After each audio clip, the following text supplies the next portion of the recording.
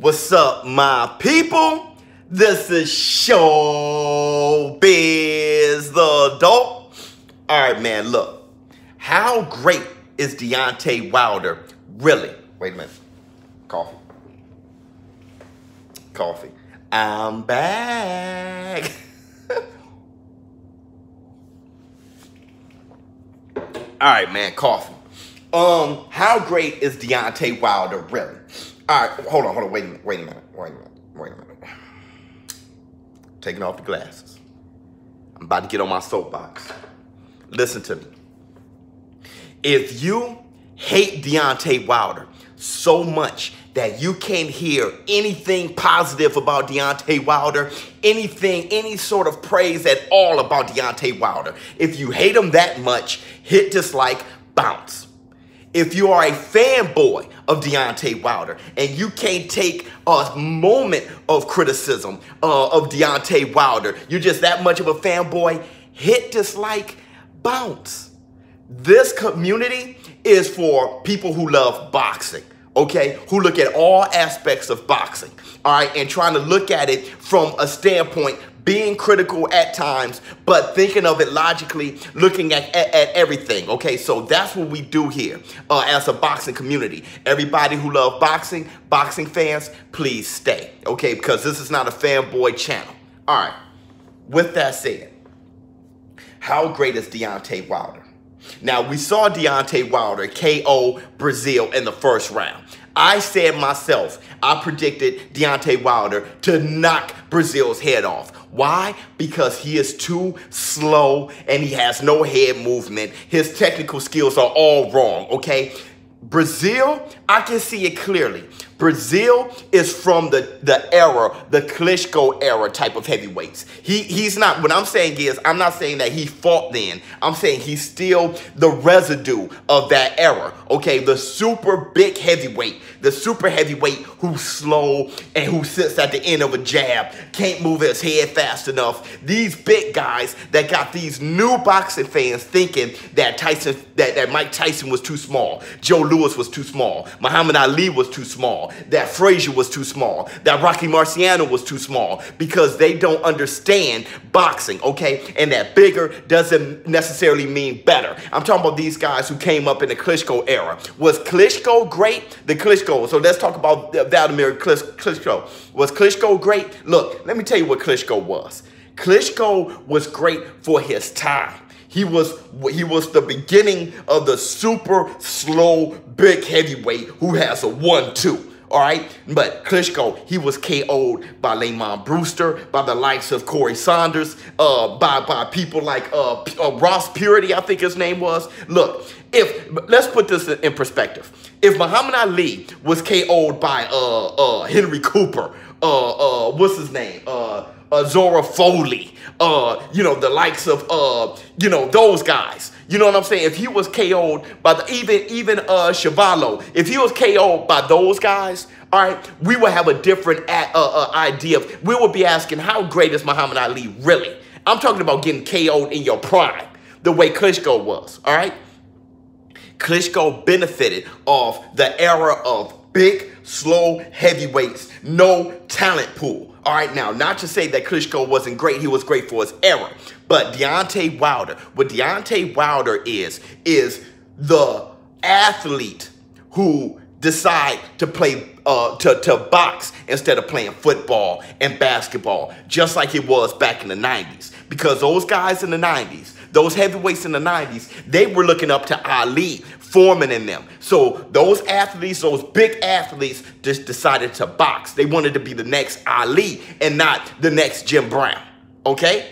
So that's what happens when the big athletes start playing football, start playing basketball, that takes away from the athlete that would be boxing. What Deontay Wilder is, is just an athlete, a big athlete who decided to box. So he's taking advantage of these guys, coming in at 218, coming in at 220, and destroying these big, slow heavyweights, super heavyweights. He is just a look in the past.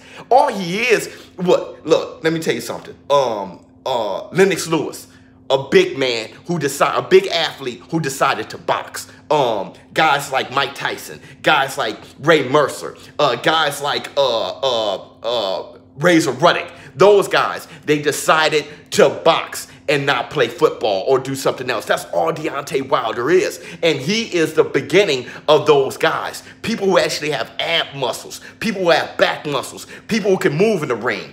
Anthony Joshua, um, um, Efe Ajagba, um, um, Daniel Dubois, um, even uh, Joe Joyce, who can do a, a somersault, a no-hand somersault. When he wins, he does a no-hand somersault. You talking about guys like uh, uh, Usyk, those guys. Now you're talking about big men who can actually move and be technically sound.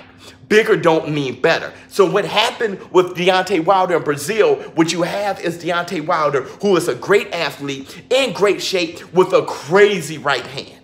Okay, so that means he can get out the way of a punch just from being a big athlete. He could throw his punch faster. Breazeale couldn't move as fast as Deontay Wilder. He was just sitting there. He had a winning record. He only lost to Anthony Joshua and Deontay Wilder. Everybody else are big fat guys sitting at the end of his jab. Those days are over, bro. That's what Deontay Wilder is, a look in the past. That's what Anthony Joshua is. He's just a look in the past. He just look at those guys. But how good is Deontay Wilder really? Could Deontay Wilder beat Tua?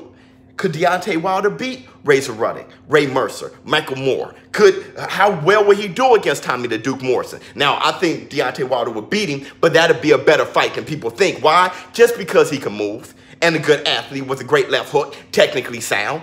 You know what I'm saying? But people actually think Deontay Wilder can go up against uh, Mike Tyson, uh, Muhammad Ali. That's being ridiculous. That's being Deontay Wilder has huge flaws in this game. He's just a big man who's an athlete who decided to box and not do something else. But Deontay Wilder is needed. He needed for this landscape.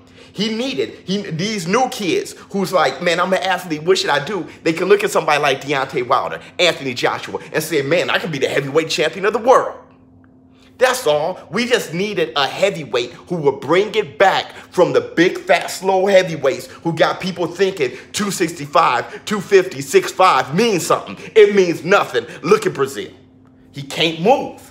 He can't move, man. And when you guys saw me do that live stream, that two hour live stream, okay, uh, when I was uh, live doing the live commentary of the fight, when I got hyped up for Deontay Wilder knocking out Breazeale, I wasn't cheering on Deontay Wilder. I was so angry looking at these guys, these big guys who just can't move. That's what Deontay Wilder is. He's taking advantage of these big guys who can't move. No hit to Deontay Wilder. He's doing his job.